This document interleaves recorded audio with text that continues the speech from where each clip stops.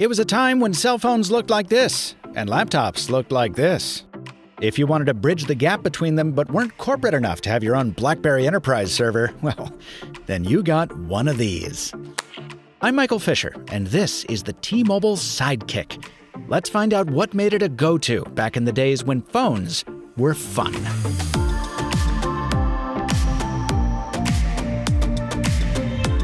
Let's kick this off with a fun fact. The name Sidekick, under which this device became famous, was actually a brand cooked up by carrier launch partner T Mobile. The name given it by its designers, a little Palo Alto based outfit called Danger, with some familiar names in its credits, was the more playful Hiptop. Now, this was one of those rare cases when both brand names were actually pretty great. I mean, it was a hip top because it was a laptop you wore on your hip, and it was a sidekick too because once you got used to having it around, you'd never wanted to leave the house without it. Hey, whatever you called it, this device was ahead of its time in many ways. And to fully appreciate what that time was, you need to remember that this first model for 2002 didn't even have a color screen. The one I have here is the revised edition with a transflective color panel up front.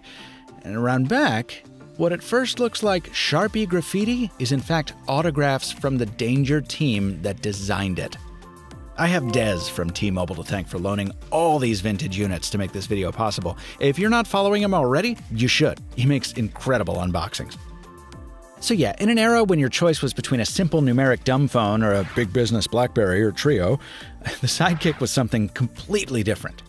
Because it was designed to be used in landscape with both hands, it looked like a portable game console. And to be fair, Rockin' Rocket was a great take on Asteroid. But the Sidekick's raison d'etre was not gaming, it was messaging. A gentle press on a corner of the screen caused it to swing around on a hinge, exposing a huge five row keyboard.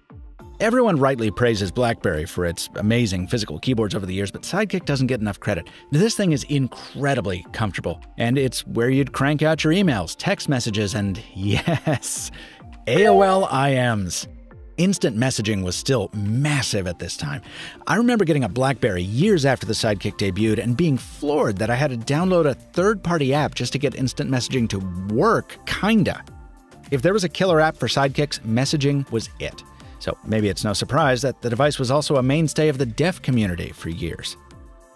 The thing about that first Sidekick was well, I mean, I kept calling it a meatball when I first unboxed it. Just God, look at it. What a meatball this thing was. It barely fit in a pocket. When you had to make a call, it was very uncomfortable to talk on. The only available camera was an attachment, and uh, the user interface just wasn't quite there yet. For example, when you closed the screen, you still had the scroll wheel, but you lost the D pad. These are problems Danger would go on to solve with the Sidekick 2. And while many sequels would follow afterward, in many ways, I don't think the Sidekick ever got better than this. The Sidekick 2 was longer but thinner than the first one, which made it more pocket friendly, and phone calls were promoted from afterthought to legitimate feature by centering the earpiece behind the D pad, now more sensibly placed alongside the display rather than beneath it. The Sidekick 2 also established the external button template that would persist for the next six years. Power and volume down below, two shoulder buttons up top, and back menu jump and cancel dotting the corners.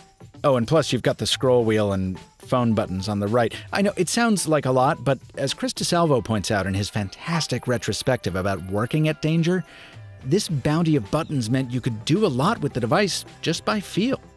Try that on any phone made since 2011. Under the screen, the keys got bigger and more densely packed under a single piece rubber mat, and the result was a thumbboard that still, to this day, ranks among my absolute favorites. Just listen to these clicky contacts.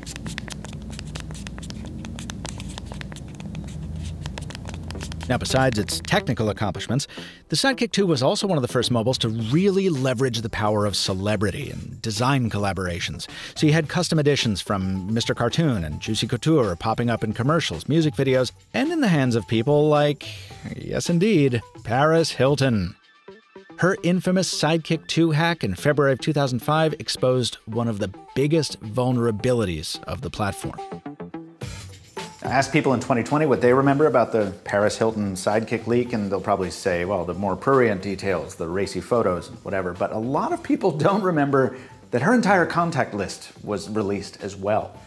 So I remember following this story in my college library. I was in school at the time, and I clicked a link from a news story, and suddenly I'm looking at a spreadsheet with literally Bruce Willis's phone number and Nicole Richie's phone number.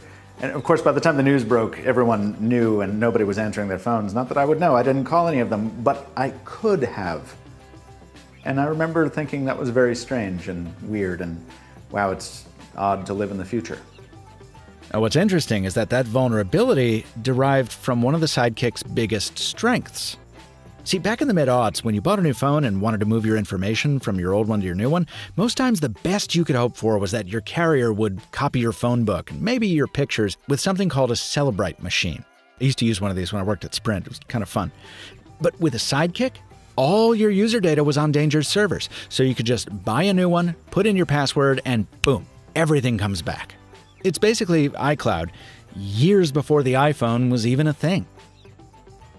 David Kogan at The Unlockr talks more about that in his own Sidekick video, which I'll link below, and that's a Sidekick 3 in his hand, aka the last truly great Sidekick. And I'm not just saying that because it's the one I owned. The three brought Bluetooth and expandable storage, along with a user replaceable battery and a new keyboard design, meant to solve the problem of the Sidekick 2's rubber mat peeling off, which I guess happened a lot. Oh, and who could forget the most excellent included leather belt case, right? Don't act like this isn't sexy, I know it is. As you can see, the design collaborations continued as well. Des sent me two of them. This one that looks like a turtle com is a co brand with clothing label Lifted Research Group, and this one is the Dwyane Wade edition, released in conjunction with the NBA All Star Game of February 2007. Only the Dwyane Wade has the fun basketball finish on the battery door, but both of these relics are today suffering from an unfortunate but unavoidable chemical process. Ugh, ugh, ugh. I explained this in a video about my first ever cell phone a while back, so allow myself to quote myself. You've probably noticed how gross this flip is, and no, that's not something to blame on the previous owner. Some Googling led me to a site called Polymer Solutions, which explains that this is an example of something called rubber reversion. Basically, before Samsung molded this earpiece into a comfortable soft touch material, it started out life as a liquid petroleum product, and it's gotten so old that it's now behaving more like a latex, slowly reverting back to its liquid state, like Odo after too long away from his bucket. And on a personal note, the sidekick was also an opportunity for me to sort of declare my independence from Sprint, the company that had employed me while I was studying acting. And I remember it was 2006, the money was starting to come in from the commercials and training videos that I had done. And I had just booked a gig doing books on tape for law students, the job that would eventually bring me to Boston. And so I felt I was secure enough to do this. So I put in my notice, activated my last batch of Nextel phones or whatever, and then I literally walked across the mall concourse, basically across the hall in this mall, to the T-Mobile store and uh, picked myself up a Sidekick 3.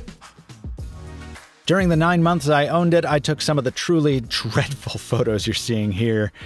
Yeah, these are original from the Sidekick 3's 1.3 megapixel camera circa 2007, including my first ever Facebook profile picture. He would hate that I'm calling him an emo bro, but I'm doing it. Anyway, when I wasn't taking selfies, I was learning the ups and downs of the Sidekick software. I loved how you never had to wait for it. It was always responsive, even though apps always stayed running in the background. And even though those apps could talk to each other, this was all a big deal at the time. I enjoyed little touches like the custom fonts and full page scrolling with key combinations. It was quite novel having a first party app store right on the device, long before the iPhone would do the same. But you know, after a while, the comic book like design started to wear thin. I remember thinking every time I scrolled to the dialer, who are these people? And why does my phone sound like a broken Rube Goldberg machine when I'm just clicking through the interface?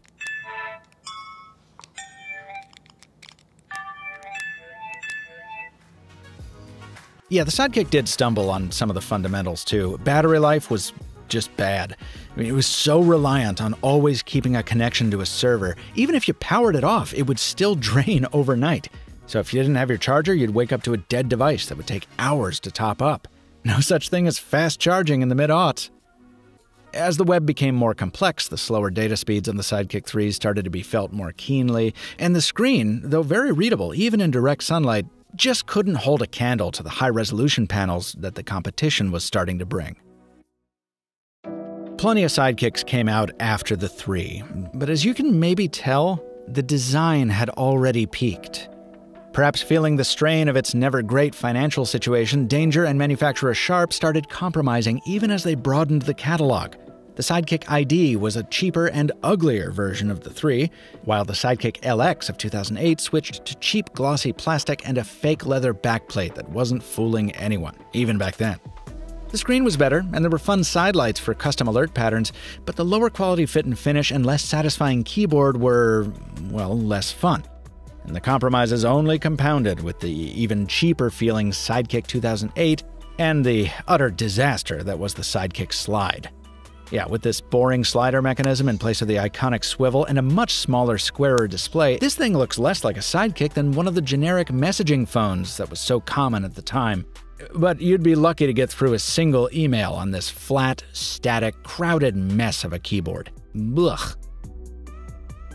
More devices came, but things never got much better for the Sidekick. The combination of a changing competitive landscape, the ever more apparent quality compromises, and yet another high profile data loss just kept eating away at the brand. Microsoft would purchase the money losing danger in February 2008, which didn't end up being great news for the million or so Sidekick users of the time. It turned out Microsoft was less interested in continuing the Sidekick legacy than kickstarting its own. The platform was discontinued, the servers eventually turned off, while Microsoft used Danger's purloined expertise to launch the Kin, a product for which the word failure is too generous. But that's another story. It's an ignominious end for a product once synonymous with hip and, yes, hot.